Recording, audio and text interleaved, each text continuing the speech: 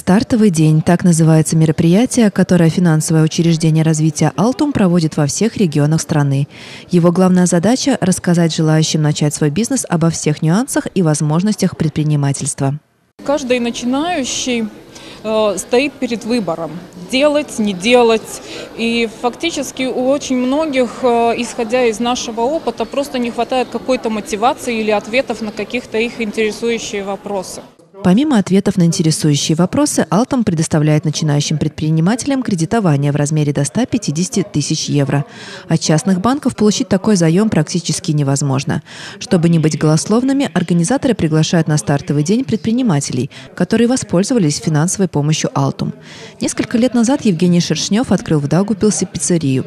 На тот момент существовала определенная неудовлетворенность представленным в городе предложением в сфере общепита, объясняет свой выбор в пользу данного вида услуг Евгений. Для нас это была совершенно новая ниша, то есть э, ни у одного из моих партнеров не было опыта в сфере общепита, и нам приходилось всему учиться, ну, что называется, заново. Да? То есть мы черпали Э, информацию в интернете, мы консультировались э, с госинстанциями, там, с ПВД, приглашали технологов рижских, опять же, общались с ними, как бы набирались опыта, знаний.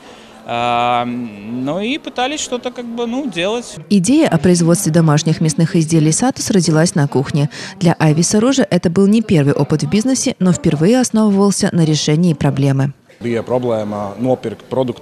Была проблема купить продукт, который мне хотелось, и это был первый случай, когда я начал предпринимательство, чтобы решить какую-то проблему. Для меня это было что-то новое, абсолютно новый подход. С того момента прошло пять лет, и, как видно, этот подход работает. Для Айвиса Ружи предпринимательство – это образ жизни. Помимо экономического фактора, заниматься бизнесом его побуждает интерес к этому виду деятельности. Во время мероприятия не раз прозвучал совет, что не стоит ограничивать свою предпринимательскую деятельность только территорией Латвии. Надо думать вне границ.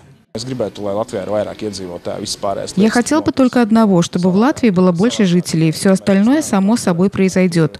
Пока мы не сможем остановить сокращающуюся численность населения, ни к чему хорошему это не приведет. Это влияет и на спрос, и на рабочую силу. Соответственно, чем меньше людей, тем меньше налогоплательщиков. Страна не развивается настолько быстро, как это могло бы быть. Как отметил Айвис Рожа, он пришел на стартовый день не для того, чтобы вдохновлять. Его задача – поделиться опытом, который, возможно, для кого-то станет подсказкой в познании сложного мира предпринимательства. Любовь Тран, Александр Хлистов, телевидение Даутком.